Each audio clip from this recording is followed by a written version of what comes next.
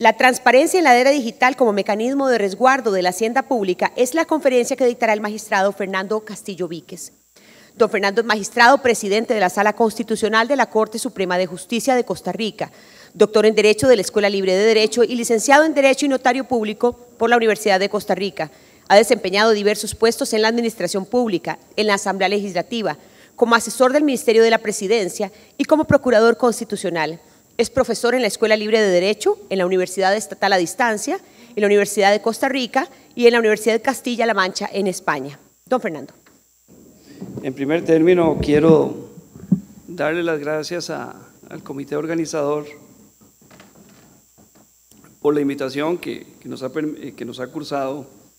para participar en este importante evento académico. En segundo lugar, pues eh, expresar que en algunos temas eh, tengo algunas limitaciones, eh, toda vez que en el Tribunal Constitucional hay muchos temas que están siendo objeto de análisis, de discusión, entonces eh, comprenderán que en algunos asuntos, sobre todo a la hora de responder preguntas, tendré que excusarme de dar una respuesta. El tema que se me asignó es el tema de la transparencia en la era digital como mecanismo de resguardo de la hacienda pública. a explicar algunos conceptos que para mí son claves en esta, en esta ponencia y ese concepto que tiene que ver con la hacienda pública, con el patrimonio público y los fondos públicos. Eh, revisando la ley orgánica de la Contraloría General, encontramos que el concepto de la hacienda pública en Costa Rica es un concepto muy amplio, pues eh, como ustedes pueden ver, conlleva una serie de elementos. Dentro de esos elementos tenemos, lógicamente, los fondos públicos, tenemos las potestades eh, para percibir, administrar, custodiar, conservar, manejar y gastar o invertir tales fondos. También dentro de este concepto de hacienda pública se involucra las normas jurídicas, administrativas, financieras relativas a los procesos presupuestarios, todo lo referente a la contratación administrativa, la normativa del control interno y externo y finalmente tenemos también el tema de la responsabilidad de los funcionarios públicos. El concepto es tan amplio que también establece la ley orgánica de la Contraloría que en el caso de los entes no estatales o las sociedades con participación minoritaria del sector público o las entidades privadas, dice que esos recursos se entenderán como formando parte de la hacienda pública eh, en el tanto y cuanto hayan sido transferidos o puestos a disposición mediante una norma, eh, podría ser una norma legal, podría ser una norma, una transferencia presupuestaria, por los poderes del Estado, sus dependencias o órganos auxiliares, Tribunal Supremo de Elecciones, la Administración Descentralizada, las universidades estatales, las municipalidades y los bancos del Estado. Como ustedes pueden ver, aquí eh, tenemos un concepto muy amplio. En relación con el patrimonio público, eh, nos recuerda la, la ley orgánica de la Contraloría, que el patrimonio público está constituido por un universo que llamamos fondos públicos y los pasivos a cargo de los sujetos componentes de la hacienda pública. Y se entiende como sujetos componentes de la hacienda pública nuevamente el Estado, los entes y órganos públicos, las empresas públicas, así como los sujetos de derecho privado cuando administren o custodien fondos públicos por cualquier título con las salvedades establecidas en la norma.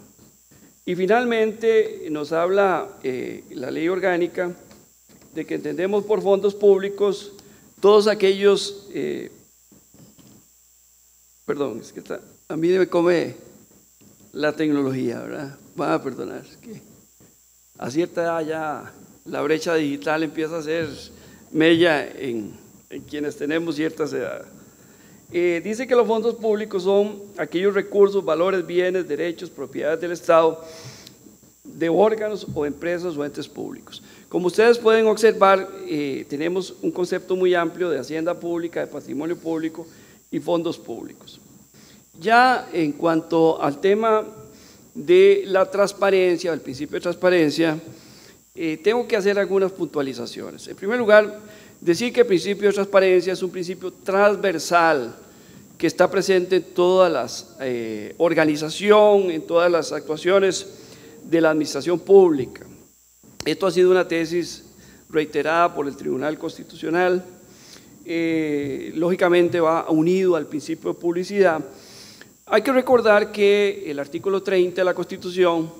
establece que es un derecho fundamental de todos los habitantes, no hablo de los ciudadanos porque también los extranjeros tienen derechos fundamentales, de acceder a la información pública. Y la Constitución establece que no se tendrá acceso a información que está en las administraciones públicas cuando se trate de eh, temas de, que tienen que ver con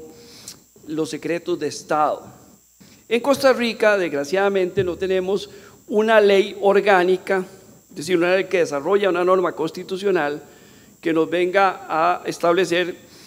qué entendemos por secreto de Estado. Entonces, la construcción de qué entendemos por secreto de Estado y cómo se hace o se declara una información secreto de Estado ha, ido, ha sido construida con base a, la jurisprudencia de la sala. Y no con base en la jurisprudencia, sino que ya la Corte Plena, cuando ejerció funciones de juez constitucional, había establecido que se entiende por secreto de Estado toda aquella materia que tiene que ver con la seguridad nacional, todo aquello que tiene que ver con las relaciones diplomáticas en trámite y también con aquellos información que puede tener como consecuencia una grave alteración al orden público. Orden público entendido en un sentido tradicional, en un sentido clásico, es decir, orden público que tiene que ver con funciones de policía, que tiene que ver eh, básicamente con el resguardo de la vida, de la propiedad, el mantenimiento de la tranquilidad pública y consecuentemente eh, tiene como resultado eh, una afectación a ciertas libertades o derechos fundamentales. Veremos en esta exposición que en ciertas materias la Sala Constitucional ha entendido que también hay información que mantienen las administraciones públicas, que también son información de naturaleza confidencial o información que dada su eh, importancia podría crear un grave, una grave dislocación al funcionamiento normal, por ejemplo, en materia del sistema financiero nacional. Pero también la sala ha ido más allá y ha establecido que eh, en la idea de, eh, que subyace en el principio de transparencia, también obliga a las administraciones públicas a las siguientes acciones. En primer lugar, ha dicho la sala, es parte de la transparencia la debida motivación del acto administrativo. También ha dicho la sala en su jurisprudencia que eh, es parte del principio de transparencia la debida publicación y notificación de los actos administrativos, sean estos individuales o generales. En tercer lugar, ha establecido la sala que en el trámite de información pública es fundamental eh, también el acceso en cuanto al tema de elaboración de reglamentos y planes reguladores. Sobre todo en el caso de planes reguladores, la sala ha establecido que es muy importante todo lo que tiene que ver con la participación de los municipios en todos aquellos cantones que se está haciendo esta normativa de carácter general que tiene que ver con aspectos estrictamente eh, de uso de suelos, de regulación y eh, temas urbanísticos. También la sala ha entendido que el principio de transparencia está presente en el procedimiento administrativo, en los procedimientos de contratación y lo que estábamos hablando en el acceso a la información administrativa. Hay una sentencia que, está muy ligada al tema que estamos desarrollando, que es la sentencia 8108-2014, donde la Sala Constitucional llegó a la conclusión de que existe una especie de derecho de cuarta generación, que es el derecho que tenemos todos los administrados a relacionarnos a través de medios tecnológicos con la administración pública. Este recurso de amparo fue muy interesante porque era un ciudadano que venía en contra de eh, una disposición del, del Consejo de Seguridad Vial que pretendía desactivar una plataforma tecnológica para obtener citas, eh, citas que, que son relacionadas con pruebas teóricas y prácticas de manejo de vehículos. Entonces, eh, la Sala Constitucional en este voto eh, estableció lo siguiente. En este voto dijo lo siguiente. En primer lugar, dijo, estamos ante un derecho de cuarta generación. Ahí yo tengo una nota porque yo tengo una preocupación de que la sala constitucional, vía jurisprudencia, empiece a crear derechos fundamentales. Eh, como ustedes saben, y siguiendo a Robert Alexi, un derecho fundamental es un derecho subjetivo que tenemos los habitantes de la República, que podemos hacer valer frente al Estado o frente a un tercero. En el caso de Costa Rica, porque en nuestro país seguimos eh, la teoría de la eficacia de los derechos fundamentales frente a terceros y que implica por parte de la administración o el tercero una abstención, una acción y en el caso de los derechos prestacionales implica acciones sobre todo que tienen que ver con la prestación de determinados servicios que desde el punto de vista presupuestario muchas de esas eh, sentencias podrían eh, crear nuevas obligaciones a la administración pública sin que necesariamente se esté señalando la fuente de ingreso, que es uno de los grandes problemas que tiene este país. Un problema que tiene Costa Rica, y ahora lo estamos viendo, y, me, y que, que desvíe el tema, pero me, me, me, preocupó que los ingresos tributarios este año solo vayan a dar 5.4, y si el presupuesto es de 10 billones, de, yo creo que eh, el próximo presupuesto nacional va a ser 50 y 50, 50 con ingresos ordinarios y 50 con financiamiento a través de, títulos de la deuda pública. Entonces, eh,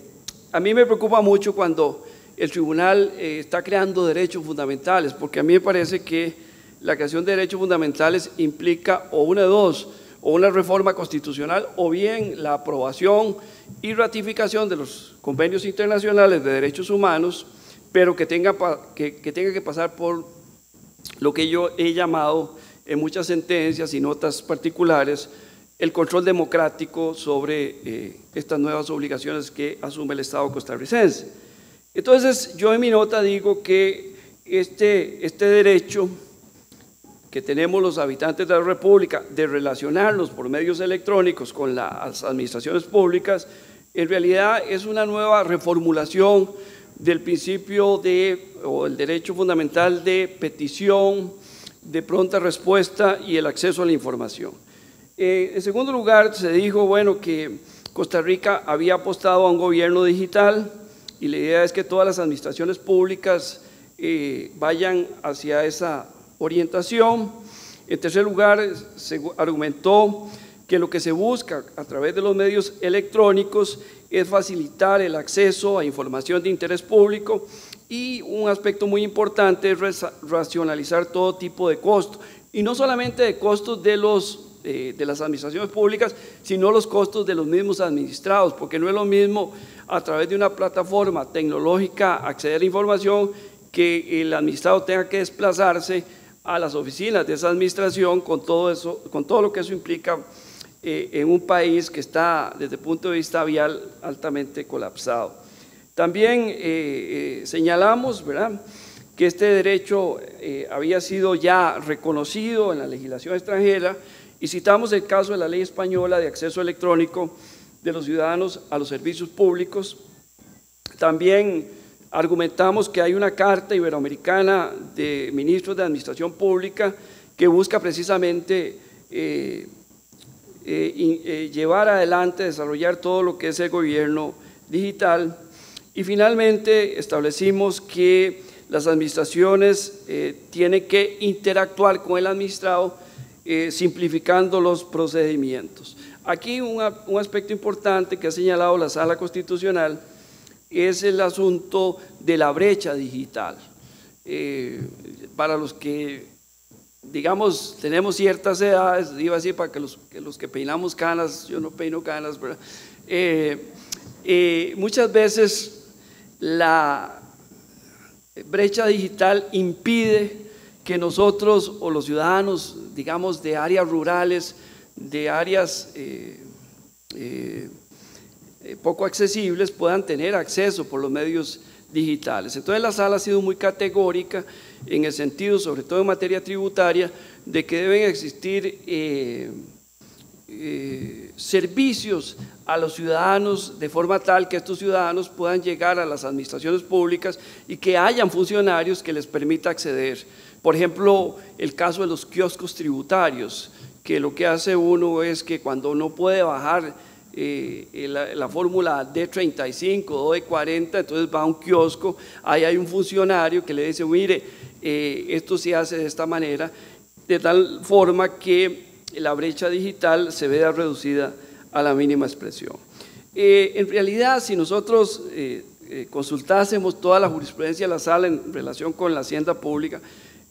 probablemente nos darían aquí las 5 o 6 de la tarde haciendo una revista de todos esos fallos, pero yo he querido focalizarme en tres aspectos. Uno, lo que tiene que ver en la materia de ingresos, otro en materia de gastos y finalmente en materia de contratación administrativa. Entonces vamos a hablar un poco de algunas sentencias que son para mí emblemáticas en materia de ingresos. Eh, hay una sentencia reciente que ha generado no poca polémica. Eh, hay quienes la adversan, otros la consideran una buena sentencia, eh, que es el caso de grandes contribuyentes que reportan pérdidas o cero ganancias en los últimos 10 años. Eh, como bien saben ustedes, porque aquí estamos ante la Contraloría General, la Contraloría había hecho un estudio de campo donde había encontrado una serie de hallazgos y era que había un grupo importante de grandes contribuyentes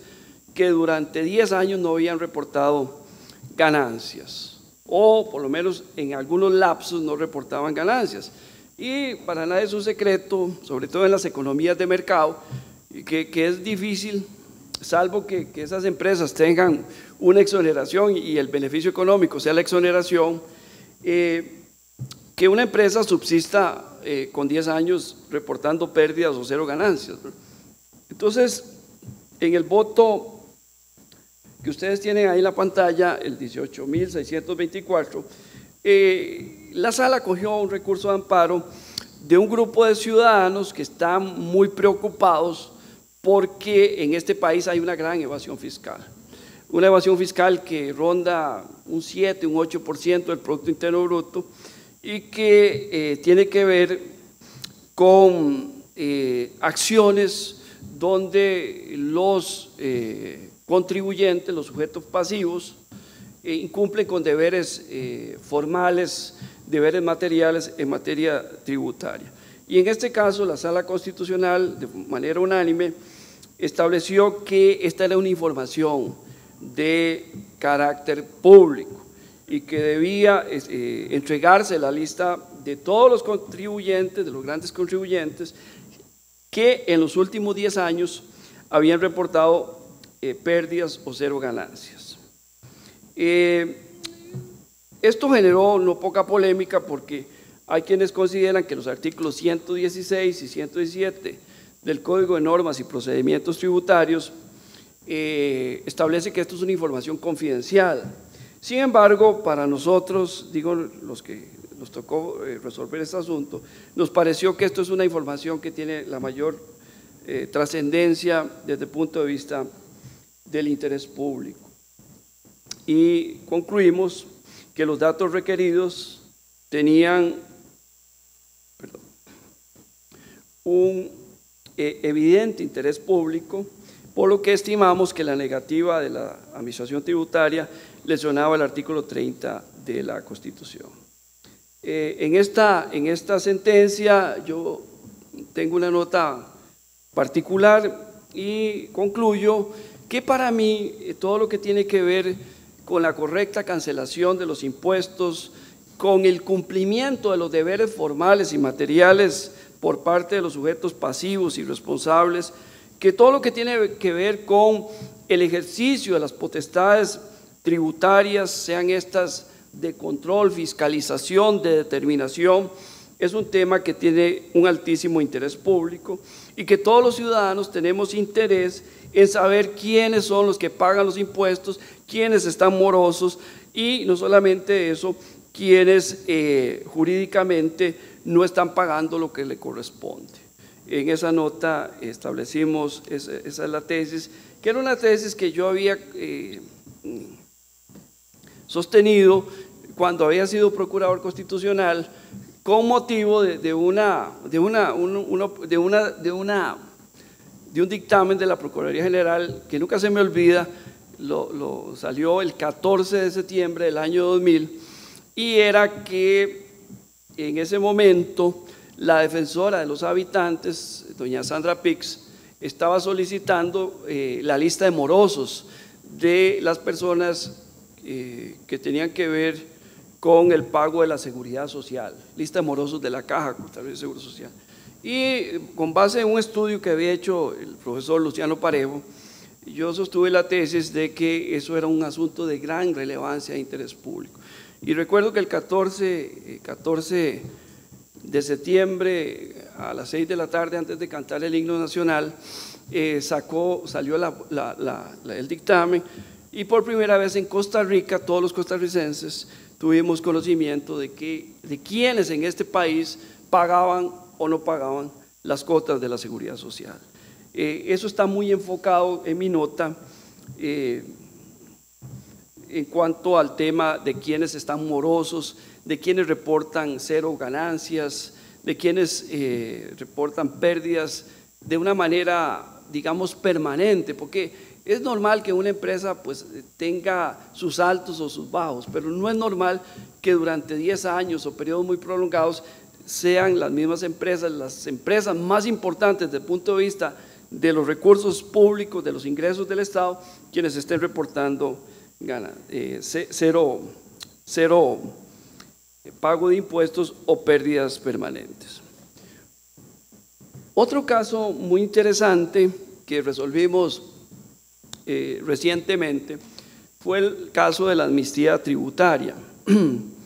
Eh, como ustedes bien saben, la ley de fortalecimiento de las finanzas públicas eh, estableció una normativa que permitía la, amnistía tributaria. Básicamente, dos diputados, el diputado José María Villalta, y ahí pido disculpas a la diputada Francini, Francini de Liberación Nacional, ellos querían saber quiénes iban a ser los posibles eh, beneficiarios de la amnistía tributaria. Esta amnistía, como ustedes recordarán, establecía que en un plazo de tres meses, del 4 de diciembre que entró en vigencia la ley de, del fortalecimiento de las finanzas públicas al 5 de marzo, los deudores de impuestos podían eh, cancelar eximiéndose del pago de intereses entre un 80 y un 60% eh, eh, también de las multas. Eh, es un, dato interesante que por esta vía el Ministerio de Hacienda recaudó 152 mil millones de colones de 8.800 contribuyentes en solo los primeros 30 días. En este caso, también la Sala Constitucional llegó a la conclusión de que esto se trataba de un dato público, de que era un dato público saber quiénes iban a ser las empresas beneficiarias de la, de la amnistía tributaria. Y declaramos con lugar tanto el recurso que presentó el, diputado José María Villalta como la diputada de Liberación, la señora Francini. Francis, sí. Yo, eh, yo, es que soy malo para los nombres y ya. Cada vez estoy más mal a veces los nombres. Bueno, bueno. Sí. Luego tenemos otro caso, ¿verdad? que es un tema que, que resulta importante, que, es un, que, está por definirse en el Tribunal Constitucional, y es el tema de que los mismos eh, recurrentes o, presentaron un recurso de amparo para ya no solo conocer quiénes están morosos, quiénes fueron los beneficiarios de la amnistía tributaria, quiénes reportan cero ganancias, sino que ahora lo que quieren saber de los grandes contribuyentes es cuánto pagan.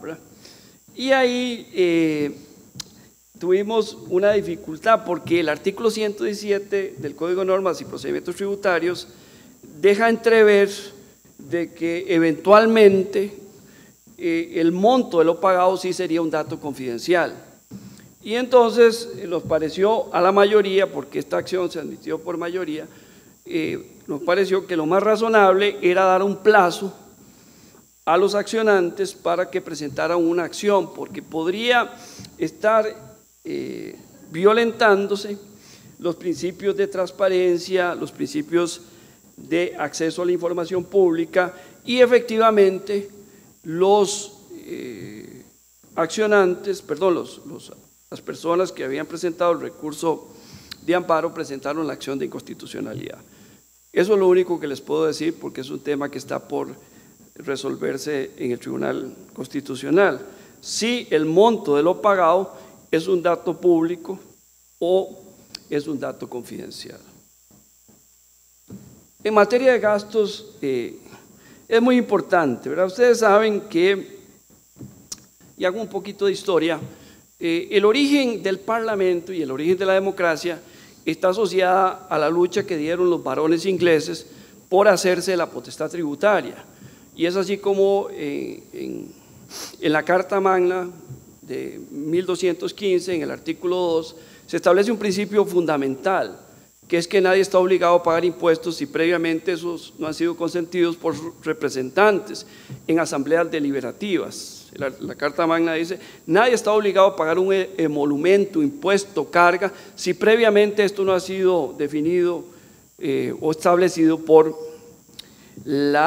sus respectivos representantes, no ha sido consentido. Y ahí hay quienes visualizan que está el origen del Parlamento. Pero resulta que, caminando un poco más en la historia,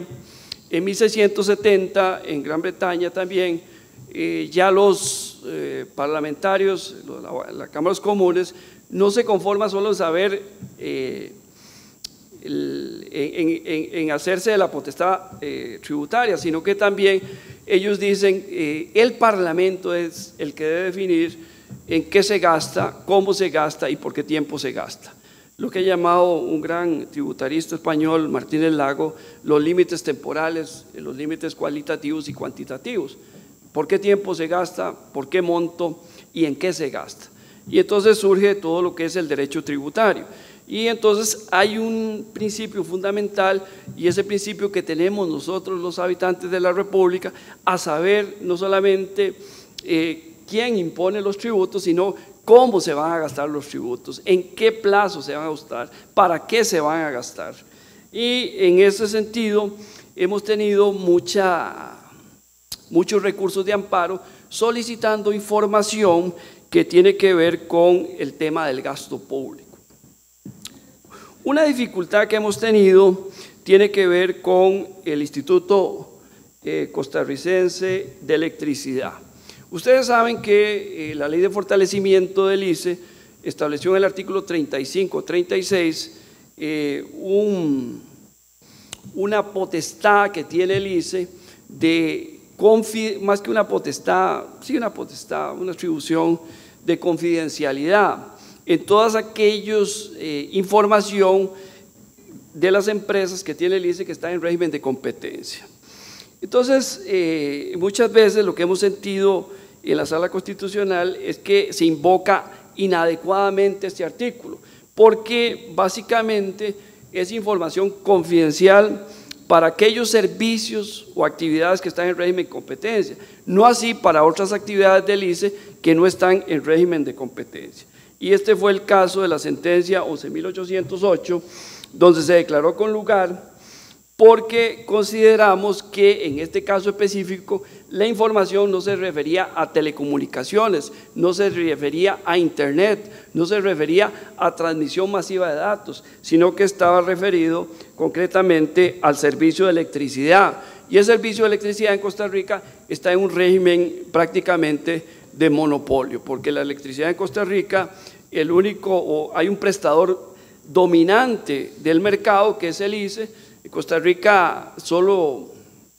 los privados solo pueden generar, comercializar y distribuir un 15%, con los BOAT el 15% que se les había dado, que eran aquellas empresas eh, con una modalidad de construya, opera y transfiera, eran 20 años, que fueron en el año 95, y ya muchas de esas plantas han sido transferidas al ICE, y prácticamente eh, la,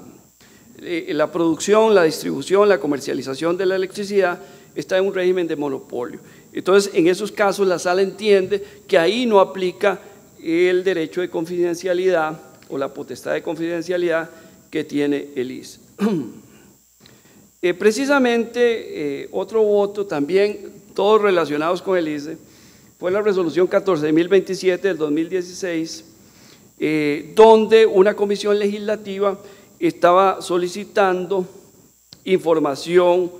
al ICE y la sala constitucional ahí sí consideró que como se trataba de información relacionada con una actividad que estaba en competencia, entonces la información tenía que mantener su particularidad de confidencialidad. Ahí yo hago una nota intensa,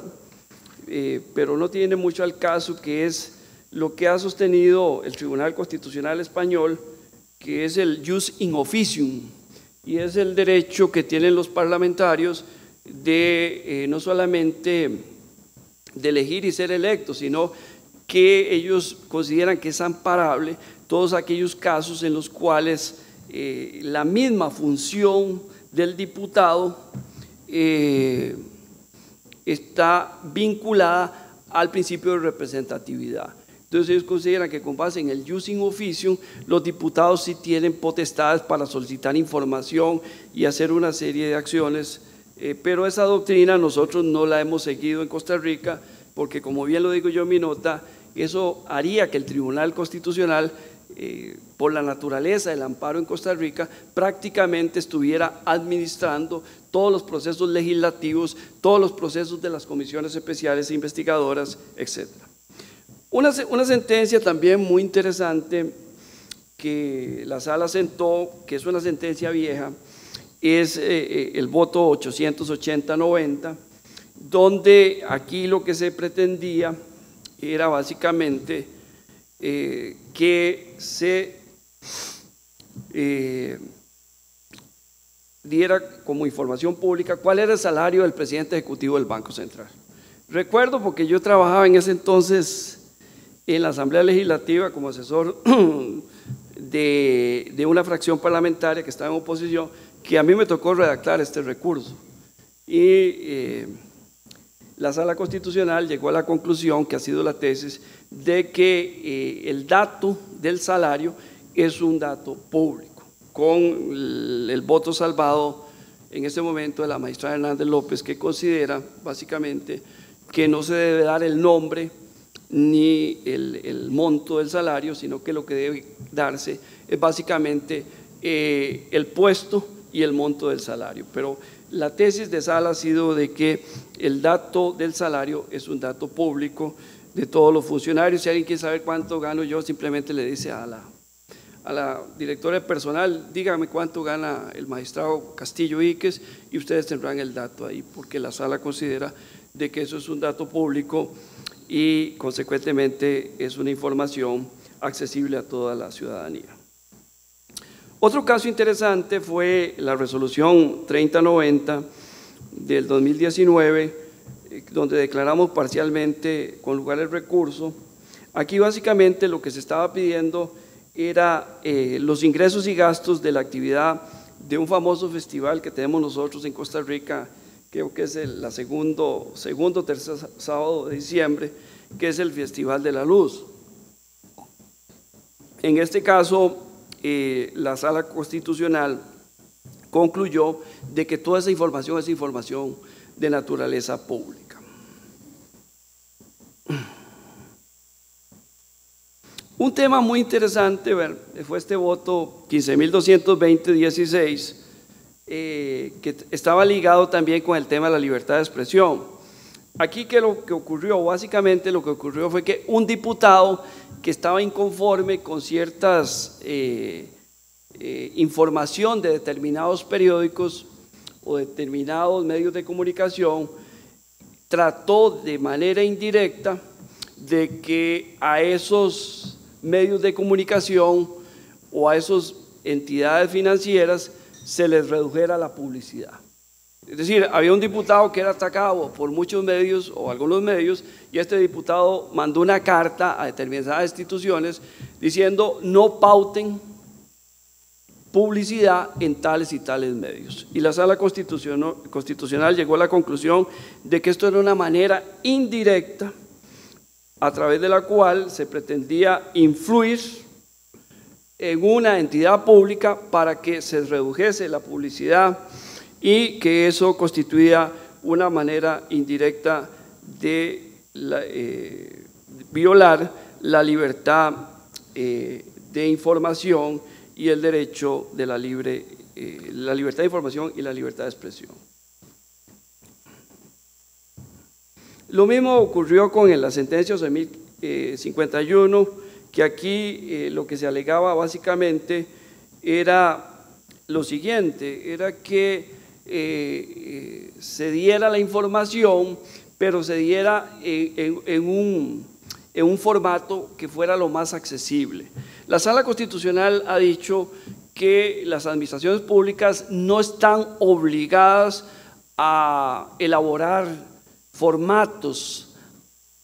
a favor de un administrado, pero sí están obligadas cuando está la información en un formato digital, entregarlos en un software que permita la, la manipulación o que permita el manejo lo más adecuado posible. ¿Qué era lo que pasaba? Que muchas veces las administraciones públicas entregaban la información, pero en un software que no permitía lo que se llama la minería de datos. La sala lo que ha dicho es, denle la información en softwares que les permita a los ciudadanos hacer minería de datos, hacer transferencia de datos, no en, eh, digamos, softwares que no permitan, eh, que sean tan rígidos que no le permitan al ciudadano utilizar esa información. Y entonces dijimos, se ordena el gerente de desarrollo de marcas del Banco de Costa Rica, etcétera, etcétera, que se entregue al amparado la información requerida en el formato digital modificable en que se encuentre y si está en Excel se le brinde de esa forma. Asimismo, si existe algún tipo de clave de acceso a la información, esta debe ser eliminada de forma tal que le permita libre acceso, manipulación de datos que el recurrente solicita. Hay otro caso también eh, interesante que es el... No sé, me perdí.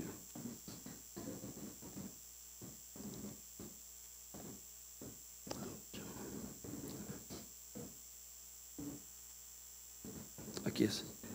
Eh, una excepción también al derecho de acceso a la información y esto tiene que ver con lo siguiente.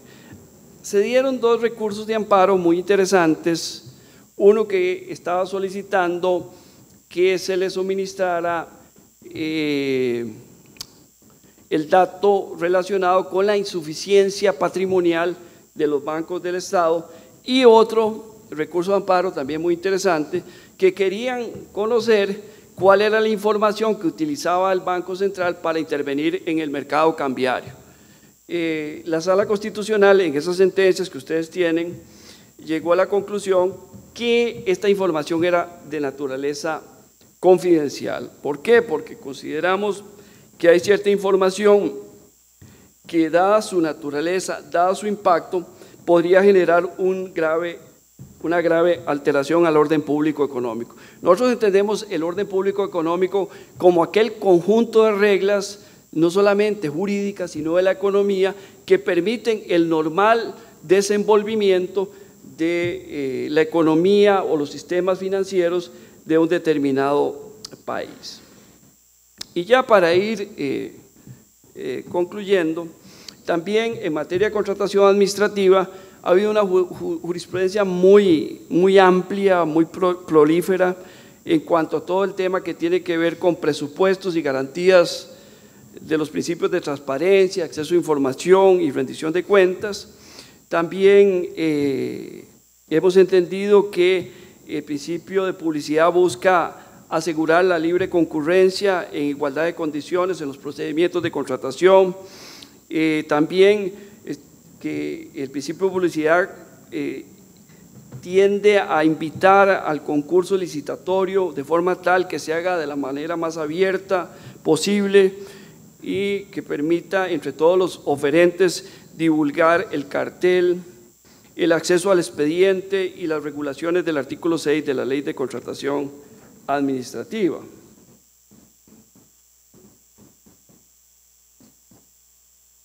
Y yo creo que eso es todo. Muchas gracias.